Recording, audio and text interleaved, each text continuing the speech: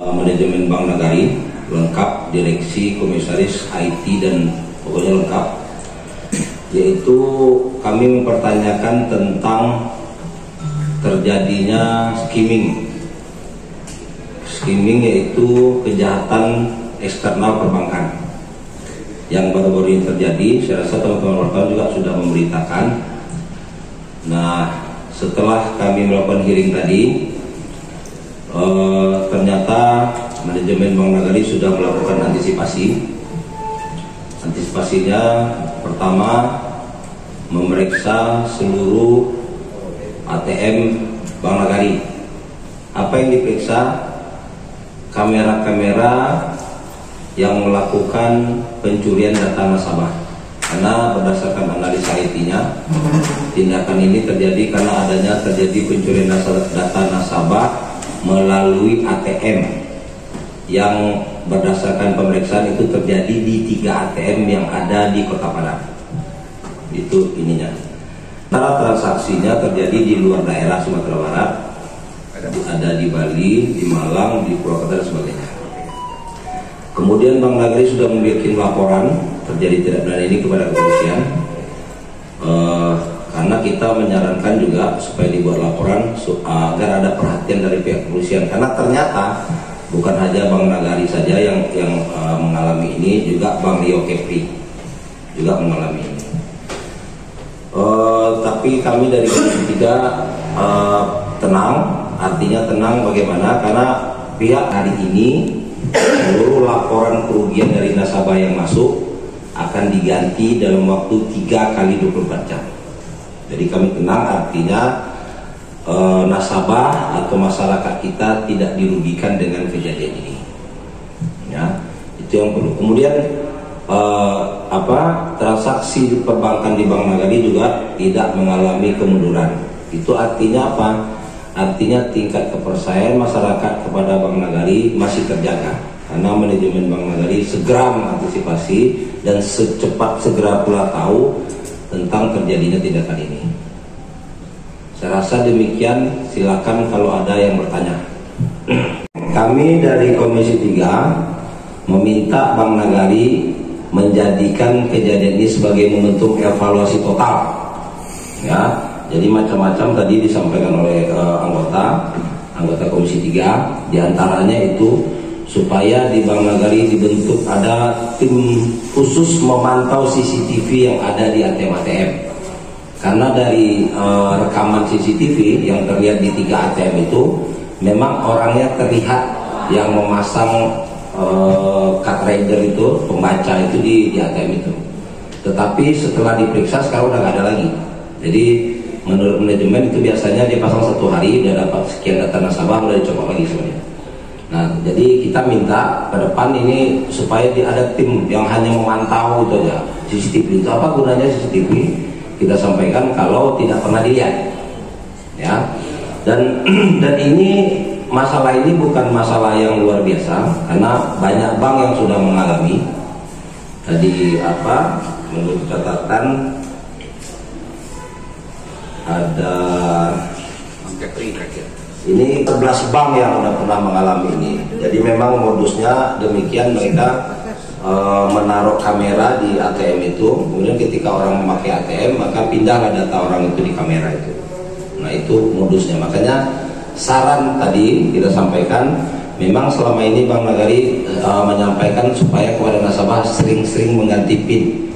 Jadi PIN ATM-nya sering diganti atau kalau enggak tidak usah pakai ATM pakai m-banking kan bisa sekarang pakai HP bisa ngambil uang di ATM tanpa kartu ATM nah jadi tidak apa resiko-resiko resiko-resiko data nasabah dicuri itu jadi berkurang ya kalau kita pakai HP eh, apa mengambil uang di ATM tapi pakai HP nggak pakai kartu. Gitu. Jadi ini uh, apa yang yang kami khawatirkan itu kalau kejahatan itu melibatkan internal. Itu yang berbahaya. Itu yang kami khawatir. Ternyata tidak sudah diperiksa semua tidak ada. Ini hanya orang yang mencuri data nasabah kita yaitu skimming.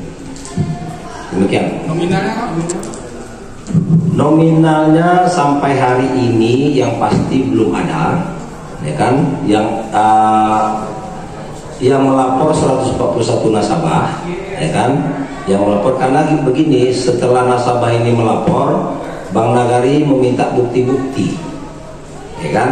Kan tidak semua laporan juga langsung diganti. Nah, buktinya itu apa? Ada SMS banking notifikasi bahwa terjadi transaksi dari rekening dia ke mana.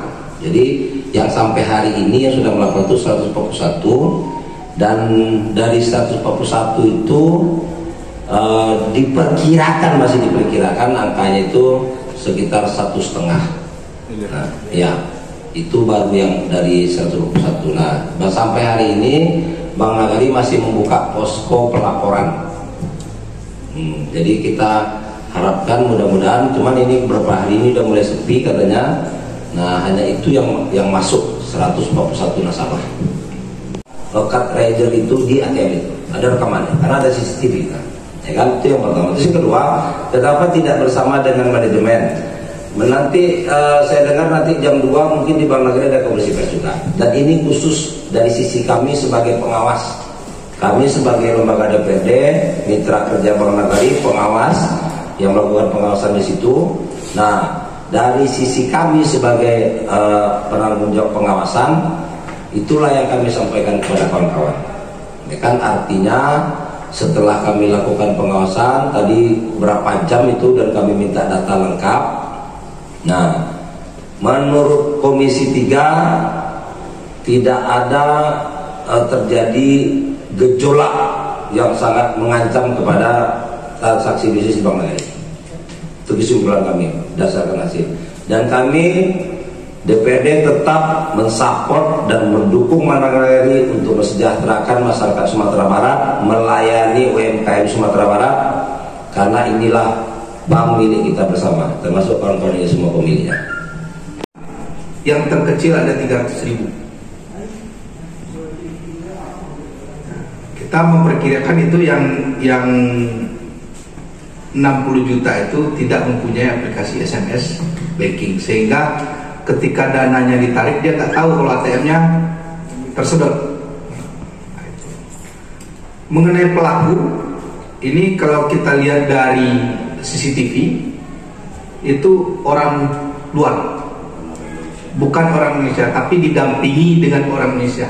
Pelaku yang memasang alat skimming itu itu bukan orang Indonesia dari face mukanya tapi yang di belakang yang mendampingi Alba Nagari. Jadi dari segala sisi ya kan? Baik itu uh, manajemen baik itu apa uh, eh, ATM-nya kemudian CCTV-nya teknologinya supaya ini dekorasi itu yang kami mintakan. Terus terhadap kerugian yang dialami nasabah gimana Kerugian kami minta Bank Nagari menanggung. Nasabah tidak boleh dirugikan lima perak pun. Karena itu aturan undang-undang perbankan. Jadi nasabah ya ke dalam undang-undang perbankan itu paling lambat dua dalam 20 hari harus dilakukan. Ini enggak. Bank Nagari sampaikan 3 kali 24 jam ketua kita akan ganti uang nasabah itu. Total berapa banyak nih laporan ini ketua? Dari laporan yang udah masuk 141 nasabah, dari 141 itu potensinya ya potensinya itu sekitar satu setengah miliar lah itu potensi belum belum ini lagi jadi kan ini sekarang dari laporan yang masuk itu Bank Nagari memeriksa ya kan berikut bukti-bukti yang dibawa nasabah itu bukti-buktinya cukup langsung diganti. Ada desakan untuk mengganti orang bertanggung jawab pejabat yang terkaitnya ini? Nggak melibatkan pejabat orang luar maksudnya bertanggung jawab terhadap kebobolan ini? Ini bukan kebobolan ini skimming skimming. Skimming itu orang luar yang melakukan kejahatan perbankan. Jadi bukan jangan kalau pebobolan itu berarti ada orang dalam ini tidak ada orang dalam itu. Kalau ya. orang luar ini dari mana ini ketua? Nah itu lagi dibikin laporan ke polisi, nah, rekamannya ada, gambar orangnya jelas, ya kan? Gambar orang jelas ini saya jangan buka lah ini kan biar biar kepolisian nanti yang mencari nanti kita buka dia wah ini gua di ini gambar gua masuk lah jadi jadi apa biar nanti polisi yang bekerja.